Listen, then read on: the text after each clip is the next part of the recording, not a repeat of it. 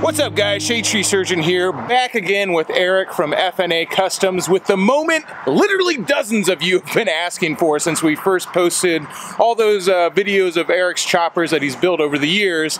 Literally like one out of every three comments was, when the fuck are you gonna fire up that two-stroke chopper? Well, today's the day. So this thing is originally built off of uh, Kawasaki H2 which uh, this is the kind of thing that makes purists cry and all those who say nothing is sacred jump for joy. And I'm definitely in the nothing is sacred camp.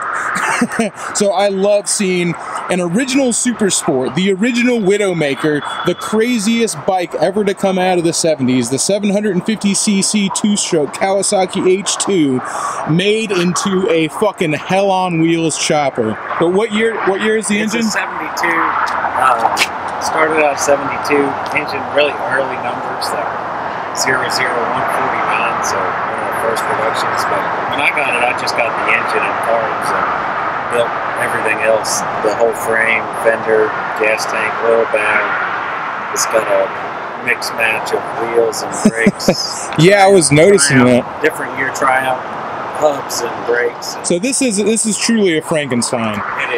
And, and so there you go. And here's something you can tell the purists when you don't tell them to get fucked when they're saying, "How dare you commit this sacrilege against the original super sport, the Kawasaki H2?" This thing was destined for the junk heap anyway. What Eric did is he gave it a whole new fucking life, and I think that's pretty cool. So It was sitting in the back of a storage unit, and some the guy that owned the storage unit, I fixed a couple front ends for him, and he gave me the traded the engine for the work. There you go, man. It would it would have just sat and rusted away into nothing if it wasn't for that. So one thing I was noticing when I was walking around it before is you said this has got all sorts of different stuff on it, but this rear wheel with the chain and the drum on it all is one piece, which if you see here, since it's a manually actuated drum, we go from here, this rod all the way through here, through the frame, and then over to here to manually actuate that. That's a lot of work for an absolutely perfectly clean finish, which is all this, what I dig about the stuff you do is that you put an ass ton of work into making sure something looks like it isn't there at all. yeah, this is a this is a six inch or seven inch uh, front brake plate right here, and then this is a, a totally different year Triumph uh, rear hub that was aluminum conical, and then this is a Harley Sportster rim. So, and then the same thing in the front, same same 18 inch rim with a, con- a conical hub with the dual leading shoe, which they never. Usually, the dual leading shoe brake plate has a kind of a shitty steel drum. But I wanted to put them with the aluminum conical because they look a lot better. Well, it might be a hardtail chopper, but it still hauls ass, so it needs to be able to stop too. It does, and those brakes do work pretty good. Now As this far as drums go, they're the best. Yeah. this would have been high-speed drum technology back in the day. Yeah, Tell me about this too. One other thing I really like, one of my favorite things on any bike, on any custom bike, is when you can make the handlebars look absolutely perfectly clean. And usually you accomplish that with a foot clutch and an internal throttle, but you have front brakes on this I have front brakes. and you have a and hand regular clutch. and a hand clutch, but we still have completely Yeah, perfectly clean Cook- handlebars. Uh, Cook Customs controls that were modified. Usually these are like sweeping and they're a little, little more for you know most bikes, but for this bike they actually made them this shape for me. But that's who made the internal throttle and clutch and brake setup. That's that's I beautiful. mean, it's a pain in the ass to put in, but they. I bet. parts. So worth worth every step because again, it's all about the stuff that you don't see, the stuff that you don't notice, and you go, why does this motorcycle look so much better, or why is this motorcycle so much better than so many other bikes I see? And it's because of tiny little touches like that that you don't see at first blush. This is the stuff you don't notice. You know, stuff you don't notice. Other stuff you might not notice is where's the battery, and that's because something that was never Oh, there we go. and so that's not even a battery, that's just a capacitor, Just a right? capacitor, that's all it is. Just to hold the lights, and then the oil goes in there also. So the capacitor and the oil down oil. there.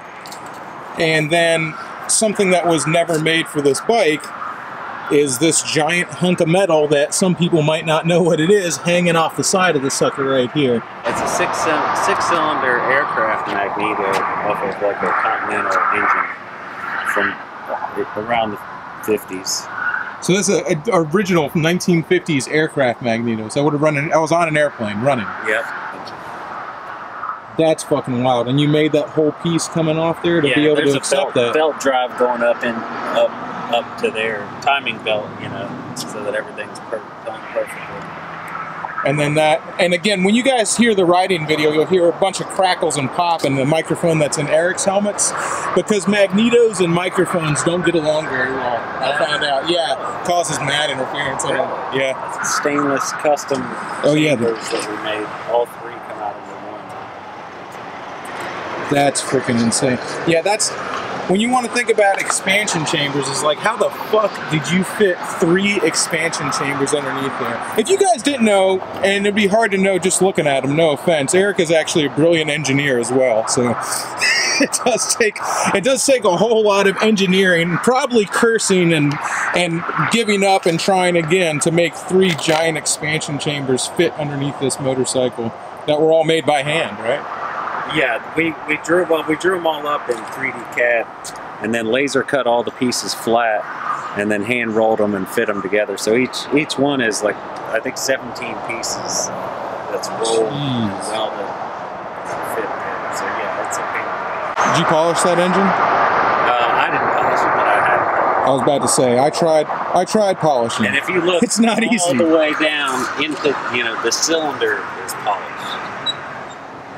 That is, that's the real deal right there, all, the way all in. The way in. It's polished. I don't know how well that's showing up on camera. Yeah. This is gonna be one of those ones you're gonna have to catch Eric at a show because uh, the engine, the, the I feel like we're doing the bike justice, but the polish job on the engine, there's no way I'm doing that justice with this camera. As somebody who's tried to polish things before, I will tell you, whoever did that is a fucking master. And holy shit, I mean, this you ride this bike. That's the whole thing. That's why I like doing these these videos with Eric, is this bike gets ridden. If you're following Eric on Instagram, and you should, or FNA Custom Cycles, I'll have a link in the description.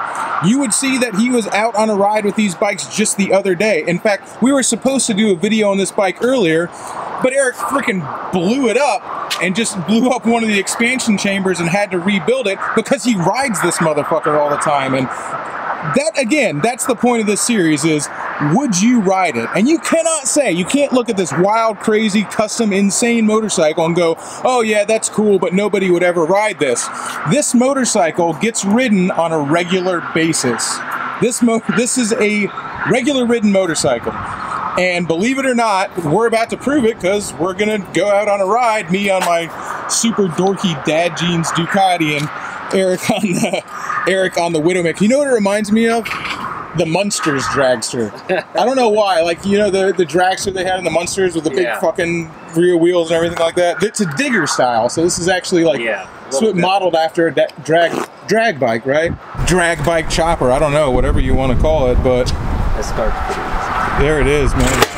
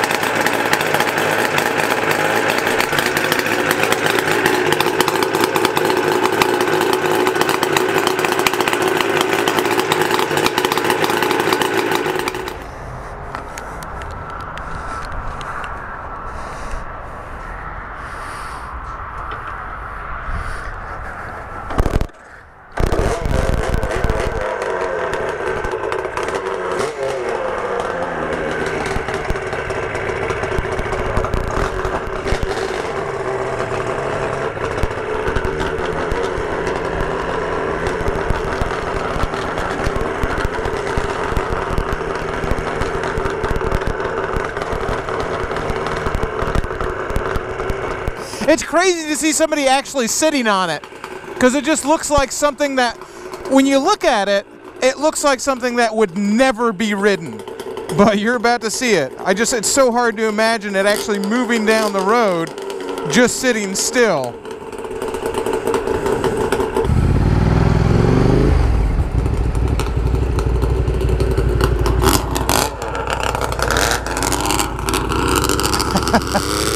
oh man.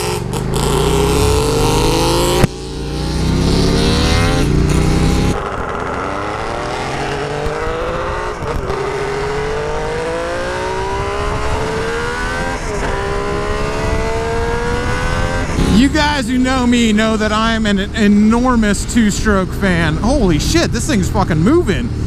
Dang.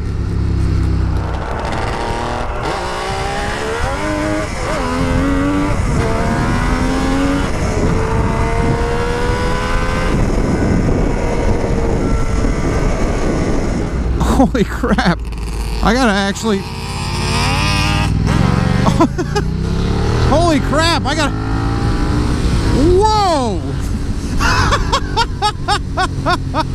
Holy shit, I gotta fucking haul ass to keep up with this thing. I'm about to not get any third person of this thing moving. Trying to talk about the bike and how crazy it looks to see it moving, but uh, now I'm just trying to keep up with it. Widowmaker is right.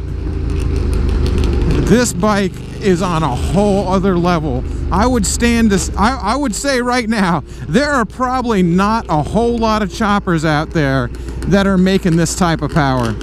As Eric drives it down a brick road, not exactly uh, the most smooth ride.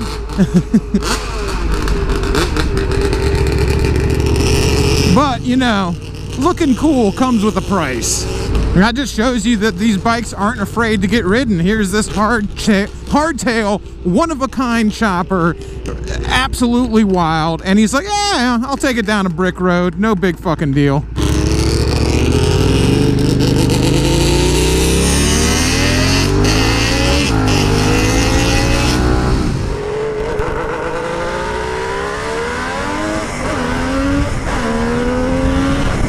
Holy crap.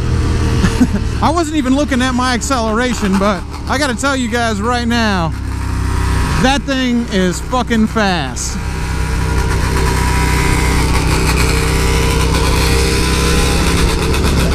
Holy mackerel. I will tell you, I would have ridden the Glam Fairy. I was all about riding the Glam Fairy. This bike is on a whole nother level of balls it takes to get out on this thing and twist that throttle wide open. You're talking about a hard-tailed death machine straight out of somebody's fucking nightmare. This thing looks like it's out of a Rob Zombie video. This is Dragula. Some sort of 70s werewolf on wheels gothic nightmare. Oh, we'll go. Holy crap, I was like, we'll go for the scenic shots now, and then Eric's like, eh, I think I'll haul ass instead.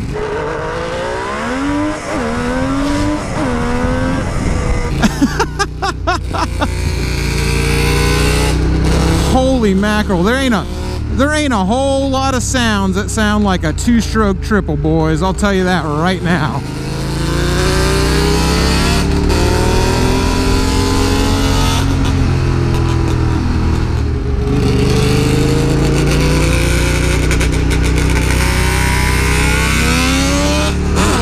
Oh, Jesus.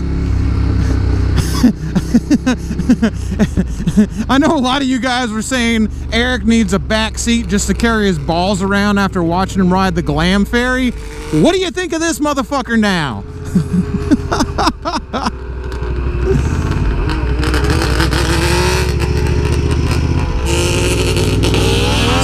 so you tell me, would you ride this thing around? You got enough balls to twist the throttle wide open on a hardtail three-cylinder 750cc two-stroke chopper? Because let me tell you, as I'm doing wheelies to keep up with him, Jesus, Eric.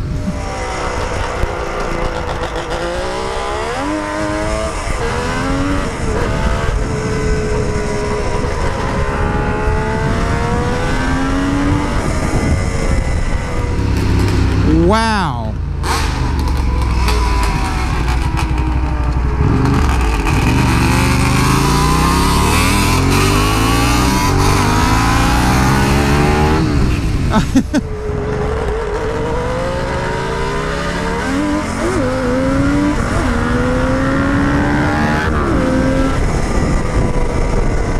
I had to go way wide open to actually pull in front of him right there. And this is a 150 horsepower Ducati. that thing is not just fast. It's not just fast for a chopper. This bike is legitimately fast. This ain't no freaking, this ain't no iron head. Oh wow, here he goes again. This ain't no iron head or shovel head put down the road. This thing is the definition of hell on wheels.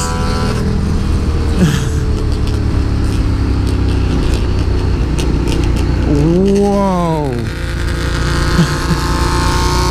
I wasn't expecting him to go so fucking ham. Jesus Christ, you could have warned me, Eric. I was like, oh yeah, we'll putt around a little bit, get some cool shots of it, and then just like, boom, wide open throttle. See you later. Sound of the police. That's the sound of the beast.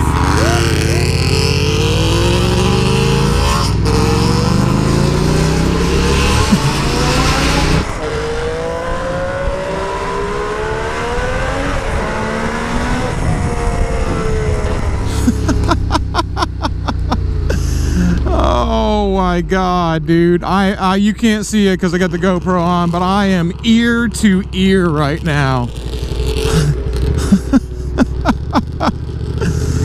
wow. That is fucking cool. All right, guys. Make sure and go follow Eric, FNA Custom Cycles on Instagram. Show him some love. Tell him Shade Tree Surgeon sent you. And ask him what kind of backpack he has to carry around his giant brass balls.